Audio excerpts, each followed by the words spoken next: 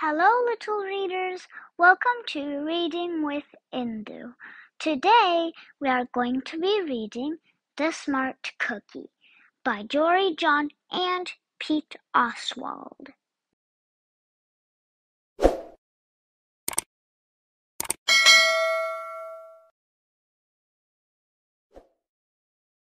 Greetings. I'm a cookie.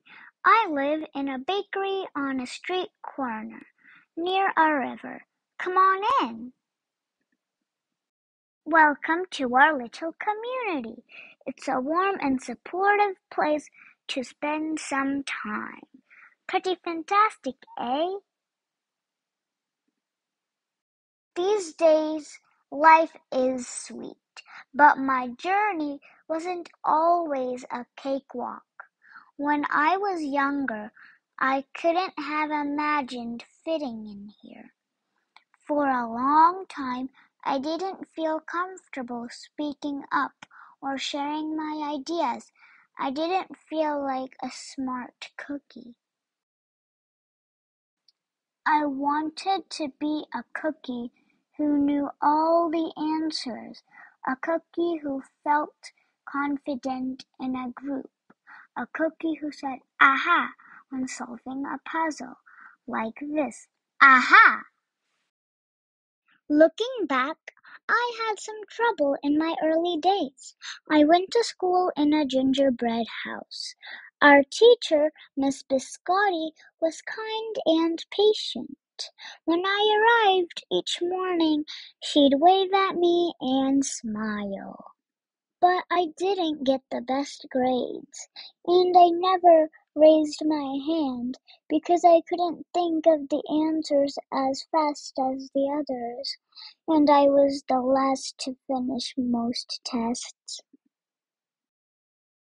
It wasn't because I didn't care, and it wasn't because I didn't try. Sometimes I'd get distracted and mess up, even though I knew the material. Those were the most frustrating moments of all. Once I misspelled the word dough. That was rough. Another time I added when I meant to subtract. Occasionally we'd have a lesson where I had absolutely no idea what was happening. I just couldn't keep up. I imagined that my desk was a raft and that I was completely lost at the sea, because that's what it felt like. At night, I slept in a cookie jar. I had about six dozen roommates. Move! You move! No, you move! No, you move! No, you move! I'd stay awake and stare out the window and worry. And it was it went this way at day after day after day. But then something happened that changed everything. It all started with a homework assignment. Miss Biscotti requested our attention one afternoon. Tonight, I would like you to create something completely original, she announced. It can be anything you want. Please bring it to class tomorrow. That was it. There were no further instructions. Miss Biscotti winked at me as I gathered my belongings. I felt like I had million butterflies in my stomach. Create anything, something original, due tomorrow, gulp. When I got home, I immediately went to work. At first, I tried a cooking project. The results were half-baked. Next, I tried to hammer and nail something. It splintered immediately. Then I tried making a sculpture. It was a complete burst. I wondered if I was about to fail.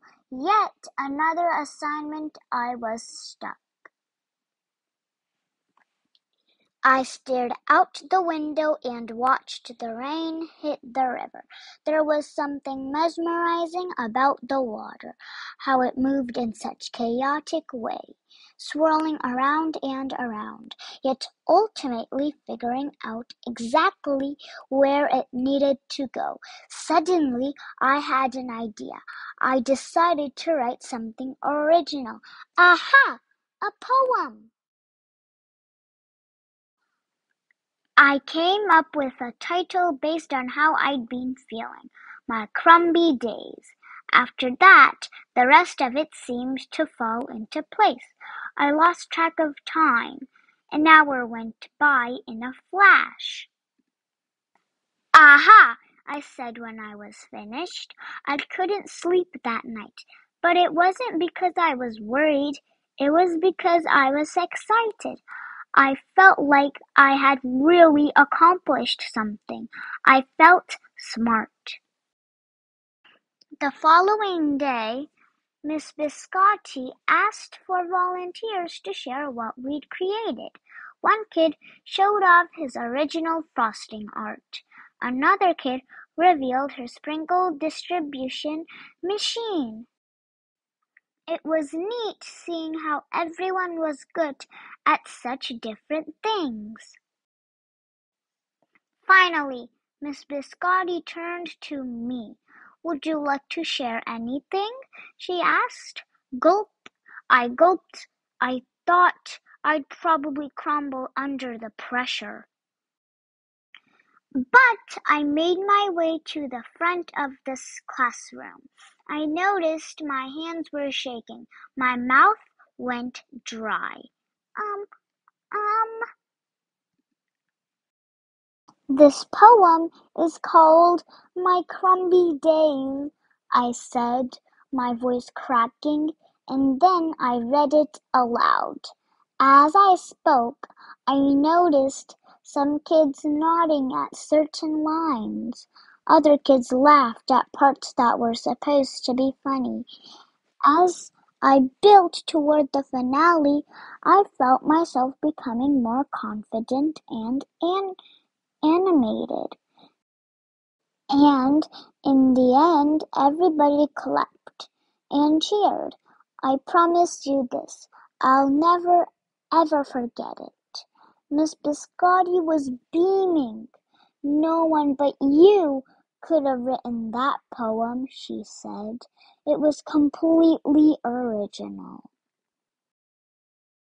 Aha! I had done it. I'd created something and shared it with the world. Well, my world at least. The rest of the day was a blur. By recess, I was already planning my next poem. I would call it My Sweet Morning. Aha! I thought when I came up with the title. Later that afternoon, Miss Biscotti handed me a note. It said that I should keep on writing, no matter what. That meant so much to me. School was a bit different after that. I wasn't so scared to raise my hand or ask a question or share my work. Sure, some things still don't come as easily for me as they do for others. But now I know that you can be smart in many different ways. You don't have to have the answers to every question or suddenly be great at everything all at once. You just need a chance to try all kinds of things, to find out who you are and what you like to do. As for me, I learned that I can write and I can think up great ideas. And I found plenty of other things I'm good at too. I no longer feel lost at sea. It's more like floating down a river, and the best part is there's always more to learn. Because we're all smart cookies. Aha! Aha! Aha! The end. Thank you for watching this video. If you like this video, please like, share, and subscribe. See you in my next video. Bye!